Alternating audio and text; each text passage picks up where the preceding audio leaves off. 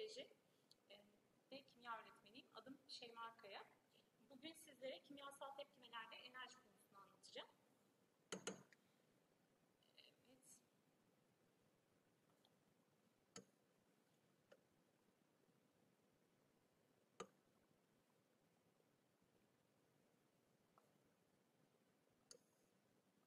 Evet arkadaşlar,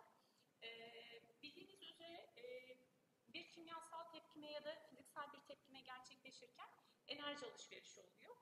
E, ve bu e, iç enerji alışverişine de biz entalpi diyoruz. Ya da arkadaşlar sabit basınç ve sıcaklıkta gerçekleşen tepkimelerde alınan veya verilen ısı miktarına entalpi diyoruz. Ve entalpiyi biz kısaca arkadaşlar H ile gösteriyoruz. E, birimi kilojoule veya kilokalori olarak da ifade edebiliriz.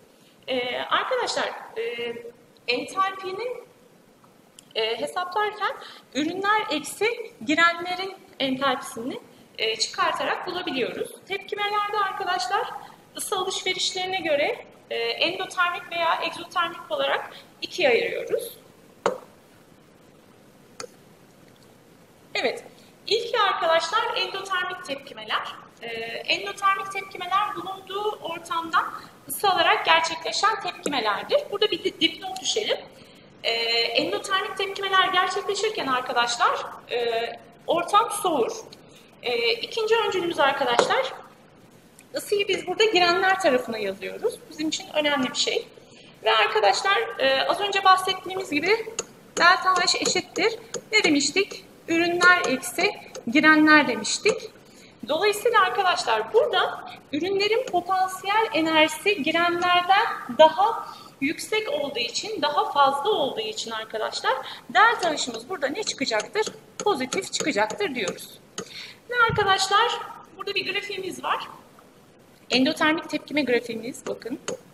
Şöyle biraz daha hatları belirginleştirelim. Evet. Arkadaşlar görmüş olduğunuz e, potansiyel enerjisi ürünlerin potansiyel enerjisinden nedir? Daha düşüktür. E, dolayısıyla ne dedik? Delta H'ımız pozitif çıkacaktır dedik ve gördüğünüz gibi arkadaşlar ürünler e, girenlerden ürünlere doğru entalpimiz zamanla artacaktır diyoruz. Evet.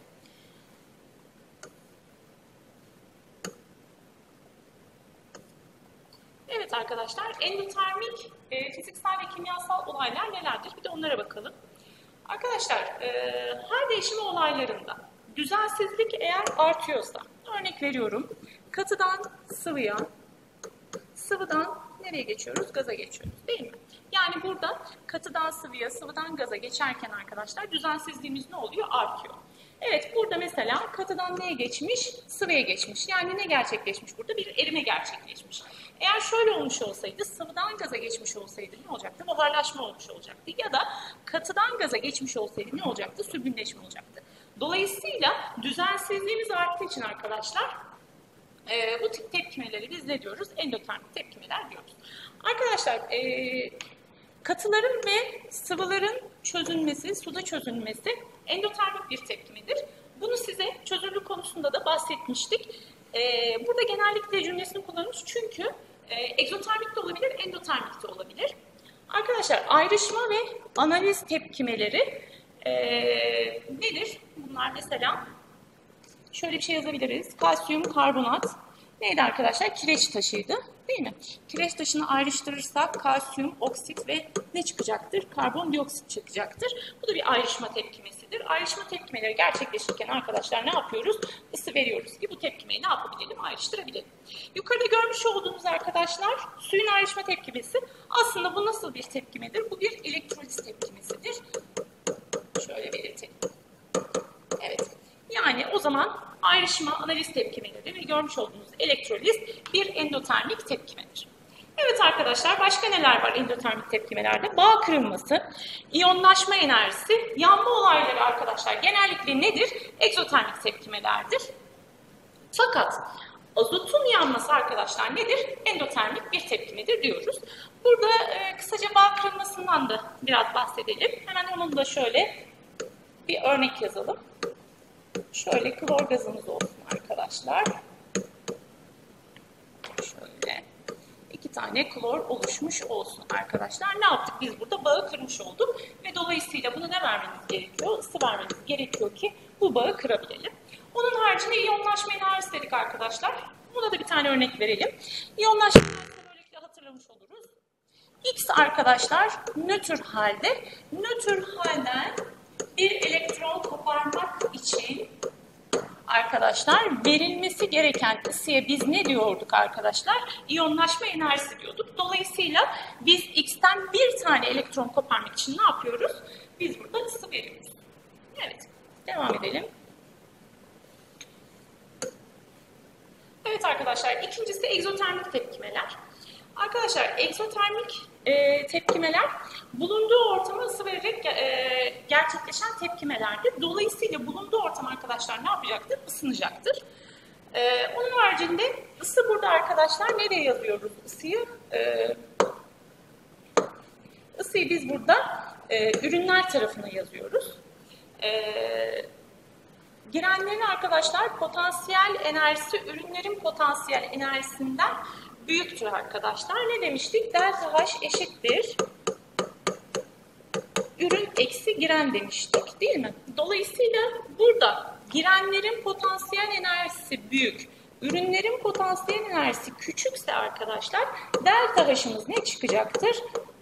Negatif çıkacaktır diyoruz. Ve e, burada potansiyel enerji grafiğimiz var arkadaşlar. Şöyle buna da bakalım. Evet bakın girenlerin enerjisi burası. Ürünlerin enerjisi ise burasıdır arkadaşlar.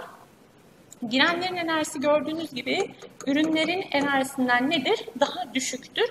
Dolayısıyla arkadaşlar delta H'ımız negatif çıkacaktır. Entalpimiz burada fark ettiyseniz arkadaşlar zamanla ne olur? Azalır diyoruz. Evet. Egzotermik fiziksel ve kimyasal olaylar nedir? Bir de onlara bakalım arkadaşlar. Ee, endotermikte şunu söylemiştik. Demiştik ki hal değişimi olaylarında e, düzensizliğin arttığı olaylar endotermiktir demiştik. Dolayısıyla burada arkadaşlar bunun tam tersi e, düzensizliğin azaldığı olaylarda egzotermiktir diyoruz. Yani burada birkaç tane örnek verelim. Örnek veriyorum katıdan sıvıya, sıvıdan ne dedik? Gaza geçiş dedik değil mi? Burada arkadaşlar e, düzensizliğimizin azaldığı taraf bu taraftır. Yani diyorum ki gazdan sıvıya geçildiğinde e, ya da sıvıdan katıya geçildiğinde yani donma olayı gerçekleştiğinde arkadaşlar e, ısı verecektir dışarıya ve bu tepkimeler nedir? Egzotermik tepkimelerdir. Evet arkadaşlar çözünme konusunda bahsettik. Demiştik ki gazların dedik çözülmesi egzotermiktir dedik. Evet burada zaten oksijenin e, çözülmesini örnek olarak verdik. Oksijenin arkadaşlar suda çözülmesi e, olayında dışarıya ne çıkacaktır? Isı çıkacaktır diyoruz. Evet başka net örneklerimiz var bakalım. Bağ oluşumu arkadaşlar. Bağ oluşumunda yanma tepkimelerinde kim hariç demiştik az önce? Azotun yanması hariç demiştik. Yanma tepkimelerin arkadaşlar e, gerçekleşmesinin sonucunda dışarıya ne çıkacaktır? Isı çıkacaktır. E, pil tepkimelerinde evet bunu e, pil tepkimeleri sonucunda nötralleşme tepkimelerinde evet nötralleşme tepkimelerine bir tane örnek verebiliriz burada. E, hidroklorik asit bildiğiniz gibi güçlü bir asittir. E, sodyum hidroksit ise kuvvetli bir asittir. Evet arkadaşlar bu ikisinin tepkimesinden ne çıkacak? Tuz ve su çıkacak. Sodyum klorür bildiğimiz formülü artık ne çıkacak? Su çıkacak diyoruz. Evet nötralleşme tepkimeleri için ne çıkması gerekiyordu? Tuz ve su çıkması gerekiyordu. Arkadaşlar bu tepkimenin sonucunda da ne çıkacak burada? Isı çıkacak ve dolayısıyla ne diyoruz arkadaşlar? Egzotermik e, tepkimeler diyoruz. Bazı elektron ilgileri arkadaşlar ve nükleer olaylar egzotermiktir. Evet burada bir de elektron ilgisine örnek vermişiz. Bakın burada flor nedir? Şu anda e, nötr durumdadır. Ne yapmıştır flor burada? Bir tane elektron almıştır. Bu elektronu aldığı zaman arkadaşlar ne çıkmıştır? Isı çıkmıştır diyoruz. Evet bunlar da egzotermik, fiziksel ve kimyasal olaylara örnektir. Evet arkadaşlar bu önemli bir not bizim için. Burası önemli dikkat edeceğimiz bir Sorularda size şöyle bir şey karşınıza çıkabilir. Diyebilir ki Ee, düşük sıcaklıklar ve egzotermik tepkimelerde girenler mi daha kararlıdır yoksa ürünler mi daha kararlıdır gibi sorular karşınıza çıkabilir. Bu tip soruları da ne yapacağız arkadaşlar? Aslında biraz dengeyle ilintili bir konu. Ee, belki hatırlayanınız vardır. Burada şöyle bir taktik yapıyoruz arkadaşlar. Düşük sıcaklıkta demiş bize. O zaman hemen bu tepkimede ısıyı ne yapıyorum? Azaltıyorum arkadaşlar. Isı azaldığı için burada dengede ne demiştik arkadaşlar? Az olan tarafa doğru kayacak. Dolayısıyla ne tarafa kayacaktır? Ürünler tarafına kayacaktır. Yani o zaman şöyle bir yorum yapabilir miyiz? Egzotermik tepkimelerde düşük sıcaklıklarda arkadaşlar kim daha kararlıdır diyoruz? Ürünler daha kararlıdır diyoruz. Ee, endotermik tepkimeler için bakalım, egzotermik için baktık. Bir de endotermik için bakalım. Arkadaşlar düşük sıcaklık dedi. Sıcaklığımızı ne yaptık? Düşürdük. Sıcaklık düştükten sonra denge ne tarafa kayacaktır? Az olan tarafa doğru kayacaktır. Peki burada kim vardır? Girenler. O zaman diyorum ki düşük sıcaklıkta endotermik tepkimelerde girenler daha kararlıdır diyorum. Evet bir de yüksek sıcaklığa bakalım. Aynı mantalitede ilerleyelim. Evet, yüksek sıcaklık dediği için ısıyı ne yapıyorum? Yükseltiyorum. Yükselttikten sonra denge arkadaşlar her zaman az olana kayacak. Burada ısıyı yükselttiğim için tam tersi nereye kayacaktır arkadaşlar? Girenlere kayacaktır. Ve ne diyorum? Yüksek sıcaklıkta egzotermik tepkimelerde kim daha kararlıdır? Girenler daha kararlıdır diyorum. Evet. Evet, standart molar e, oluşum entalpisi ya da standart oluşum entalpisi nedir arkadaşlar? Şimdi adından da anlaşılacağı gibi aslında bize şunu söylemek istiyor değil mi? Diyor ki e, standart olsun. Yani e, bunun standart olabilmesi için arkadaşlar e, 25 santigrat derece ve ne olması gerekiyor? Bir atm basınçta olması gerekiyor ki standart bir hal olsun. Peki standart molar oluşum entalpisi ne demek arkadaşlar? E, standart koşulları sağlamamız gerekiyor. Birinci öncülümüz bu. Bunu sağladıktan sonra elementlerin en kararlı hallerinin olması gerekiyor arkadaşlar. En kararlı halleri de doğada en fazla bulundukları halleridir diyebiliriz.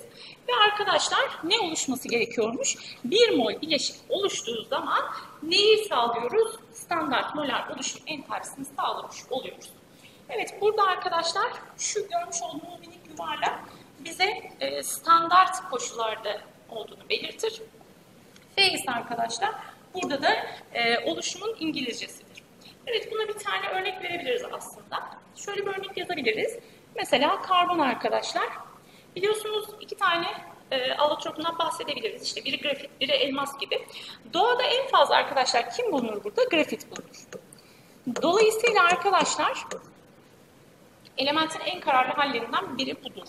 Onun haricinde oksijen arkadaşlar, oksijene bakalım. Ee, doğada arkadaşlar gaz halinde bulunuyor. Ve tepkimeye girdiğinde ne oluşacak arkadaşlar? Karbondioksit oluşacak. Ve bu bir yanma tepkimesi olduğu için arkadaşlar egzotermik bir tepkimedir. Dolayısıyla bu delta işte ben x diyebilirim. Evet şimdi biraz yorum yapalım bunun üstünde. Arkadaşlar karbonun şu anda e, grafit olduğunu ve elementlerin en kararlı hali olduğunu söyleyebiliriz. Bu kuralımıza uymuş oldu. İkincisi arkadaşlar e, element halinde ve ne halinde arkadaşlar en kararlı halinde bu da uydu. Ne demiştik? Bir mol bileşik olması gerekiyor demiştik. Evet oluşan bileşime bakıyorum. Bakın burada göreceksiniz. Bir mol bileşik olmuş oldu. Dolayısıyla arkadaşlar buradaki delta H için yani x değerim için şunu söyleyebilirim. E, molar oluşum entalpisi ya da standart koşullarda sağlandıysa standart molar oluşum entalpisi diyebilirim arkadaşlar. Evet. Evet, burada e, notumuz var. Arkadaşlar, elementlerin doğada serbest halde e, bulundukları e, hallerinin oluşum entalpilerini biz ne kabul ediyoruz? Sıfır kabul ediyoruz. Ayrıca burada şunu da söyleyebiliriz. Mesela az önce de bahsettik. Mesela karbon ve e, karbon işte e, iki bir tane allotropundan bahsettik. Dedik ki elmas ve grafit dedik değil mi? Bu ikisi birbirinin nesidir? Allotropudur. Burada arkadaşlar doğada en fazla bulunduğu hali en kararlı halidir diyoruz. Dolayısıyla arkadaşlar burada grafit nedir? En fazla bulunacaktır. Dolayısıyla biz bunu delta H oluşum ne diyoruz arkadaşlar? Sıfır kabul ediyoruz. Fakat elmas az bulunduğu için bunu ne yapıyoruz arkadaşlar? Delta H sıfırdan farklı bir değerde bulunacaktır diyoruz. Evet diğerlerine bakalım arkadaşlar. Burada demir örneğimiz var. Demir arkadaşlar doğada e, biliyorsunuz katı halde daha fazla bulunur. E, da, katı halde daha fazla bulunduğu için delta H'ına bunun ne diyoruz arkadaşlar? Sıfırdır diyoruz. E, burada ise sıvı halde bulunduğu için arkadaşlar bunun da delta H'ına sıfırdan farklı bir değer alacaktır diyoruz. Evet, civaya bakalım arkadaşlar. Civa burada sıvı, burada ise nedir? Katı halde bulunuyor değil mi? Evet, civayı düşündüğümüzde arkadaşlar en fazla hangi halde bulunur? Sıvı halde bulunabilir. Dolayısıyla ne diyoruz bunun delta h'ı? Sıfırdır diyoruz. Bununki ise delta h'ı sıfırdan farklı bir değer alacaktır diyoruz. Evet. Evet arkadaşlar bir tane örneğimiz var. Örnek sorumuzla devam edelim. C2 e, H6 gazının standart molar oluşum entalpisini veriyor bize. Eksi 85 kilojül diyor. Buna göre aynı koşullarda 0,3 gram C2H6 oluşurken açığa çıkan e, ısı kaç kilojüldür? Şimdi arkadaşlar C2H6 gazının standart molar oluşum entalpisi dediği için aslında bize şunu söylüyor. Diyor ki 1 molü e, oluşurken açığa çıkan enerjimizin şöyle yazalım. 1 molü arkadaşlar oluşurken ne kadar açığa çıktığını söylemiş. 85 kilojül mol olduğunu söylemiş bize.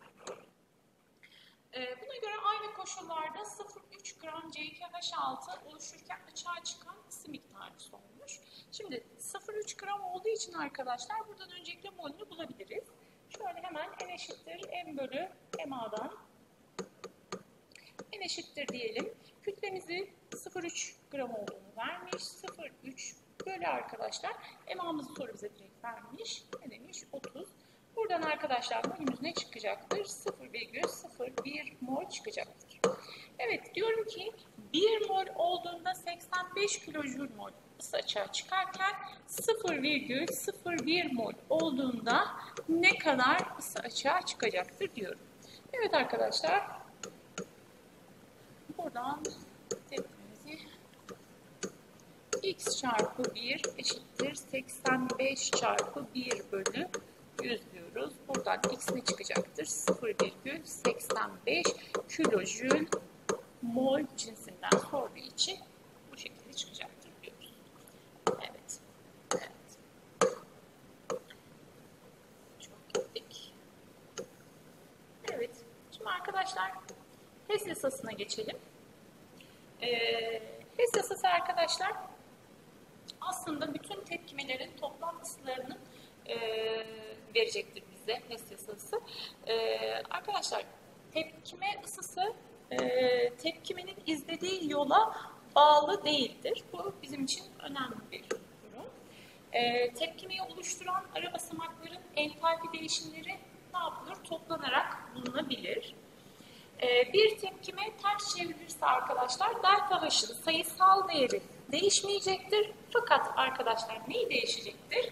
Ee, burada eğer negatifse pozitif olacaktır. Pozitifse ne olacaktır? Negatif olacaktır diyoruz. Ee, bir tepkimeye arkadaşlar herhangi bir katsayı ile, çarpılır ya da bölünürse arkadaşlar delta H'ımızda ne yapacaktır? Ee, çıkan e, delta H'ımızda o sayıyla çarpıp ya da bölünecektir. Buraya size bir tepkime yazdım. SO2'nin yanma tepkimesi var arkadaşlar gördüğünüz gibi. Delta H'ımız belli. Şimdi e, bu tepkimeyi arkadaşlar hem 2 ile çarpalım hem de tepkimeyi ters çevirelim. Şimdi tepkimeyi ters çevirirsek arkadaşlar ürünleri nereye yazıyoruz? Girenlere yazıyoruz. Dolayısıyla burada ne olacaktır? SO3 e, ne tarafa geçmiş oldu artık? Girenler kısmına. Ve ne diyoruz? SO2 artı 1 bölü 2 O2 diyoruz. Şimdi delta H'ımız arkadaşlar artık ne oldu? Tepkimeyi ters çevirdiğim için artık burada işaretini de değiştirmiş oldum. Dolayısıyla artı 100 kilojül olmuş oldu. Evet arkadaşlar şimdi bu tepkimeyi 2 ile çarparsak ne yapıyoruz? Bütün katsayıları hepsine 2 ile çarpıyoruz. Evet 2 SO2 ve buraya arkadaşlar 2 ile çarparsak şurası ne yapıyoruz? kalacak. Dolayısıyla arkadaşlar delta H'ımızı da ne yapıyoruz? 2 ile çarpıyoruz. 2 ile çarparsak ne olacak? Artı 200 kilojül olmuş olacak. Evet bir örnek soruyla devam edelim. Evet bir sorumuz var arkadaşlar. Bakın hmm, soruda ne diyor? Evet. Ee, bize 3 tane tepkime vermiş ve demiş ki bu tepkimelere göre arkadaşlar bu tepkimelere göre arkadaşlar e, metil alkolün e, bize oluşum entalpisi kaç kilojül mol'dür demiş. Evet bunlar aslında biraz bulmaca gibidir ve çok zevklidir çözmesi. Şimdi burada nasıl değerlendiriyoruz? Bakın arkadaşlar. Burada karbon var değil mi? Karbon nerede? Bu tepkimenin neresinde? Girenler kısmında. Dolayısıyla bize verilmiş olan bu üç tepkimede arkadaşlar önce karbonu buluyorum. Karbon katısını. Bulduktan sonra bakın burada da girenler kısmında, burada da girenler kısmında. Dolayısıyla arkadaşlar bu tepkimeyi hiçbir şekilde değiştirmiyorum. Bu tepkimem aynı şekilde kalıyor. Devam edelim bakalım. O2 demiş. Bakıyorum O2 hem bu tepkimede var, hem burada var, hem burada. Onu en sona bırakalım. Evet, H2'ye bakalım arkadaşlar. Hangi tepkimemizde var? Bakalım üçüncü tepkimemizde var. Üçüncü tepkimemizde var ve kas sayısı ne arkadaşlar burada? 2. Fakat burada ne arkadaşlar? 1. Dolayısıyla şu tepkimeyi ne yapmamız gerekiyor? Üçüncü tepkimeyi 2 ile çarpmamız gerekiyor. O zaman çarpalım bakalım. Şöyle kas sayısını 2 yazarsak. Bakın 2 ile çarparsam şuradaki 2 ne yapacak? Kaybolup gidecek. Burada kas sayı ne oldu? 1 oldu. Ne yapacağım? H2 onun kas sayısına ne yazacağım arkadaşlar? 2 yazacağım. Evet, delta H'ım da dolayısıyla arkadaşlar 2 ile çarpıyorum ve burası ne oldu? 400 kilojül mol olmuş oldu. Evet, devam ediyorum. Ürünler kısmına geçtim. Ürünler kısmında arkadaşlar ne var? Metil alkol var. Metil alkol ürünler kısmında, burada ise girenler kısmında. O halde arkadaşlar bu tepkimeyi bu tepkimeye benzetebilmem için ne yapmam gerekiyor? Bunu ters çevirmem gerekiyor. O zaman tepkimeyi ters çevirelim arkadaşlar. Şuraya hemen yazalım. Karbondioksit arkadaşlar artı 2H2O.